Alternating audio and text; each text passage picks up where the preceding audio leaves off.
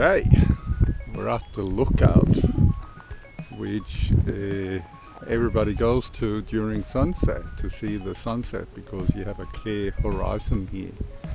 So it's not too bad as you can see. You can even see a caravan there on the highway. But this is the direction of the sunset. Put up the drone. They've got a circle there which is like a maze. And there's a house here made out of beer cans. So I thought we might have a look at that.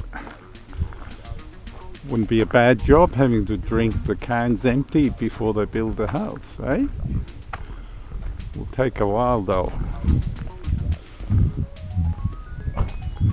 The house has a clock with no arm. There are some bottles in there, so I'm sure there were some wine drinkers building this as well. So let's go in and see if uh, the camera works inside. Okay.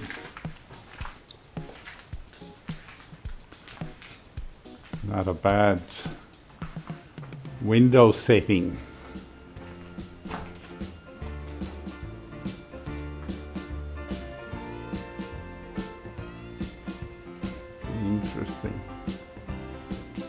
If you head during sunset, uh, the light through the bottles is quite interesting.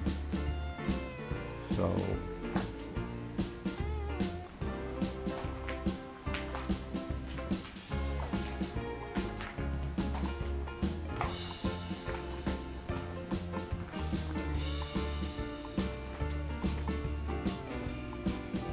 Now there's a visitor book here to sign so people can sign and record their names for future generations.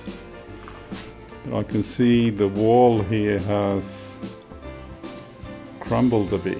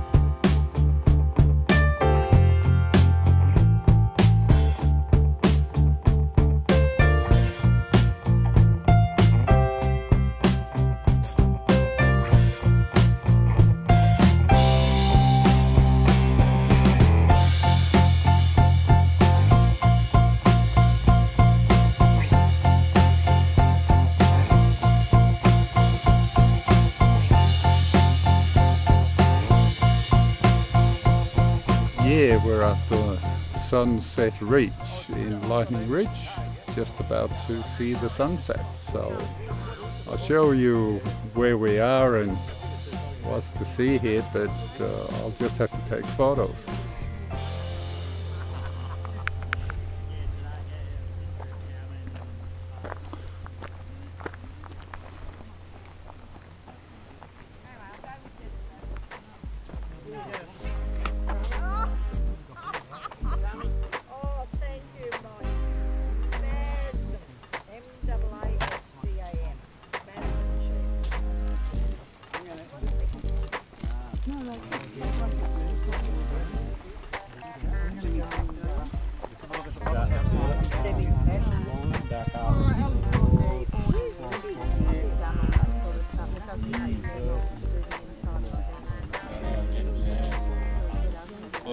Someone is went to get off the road.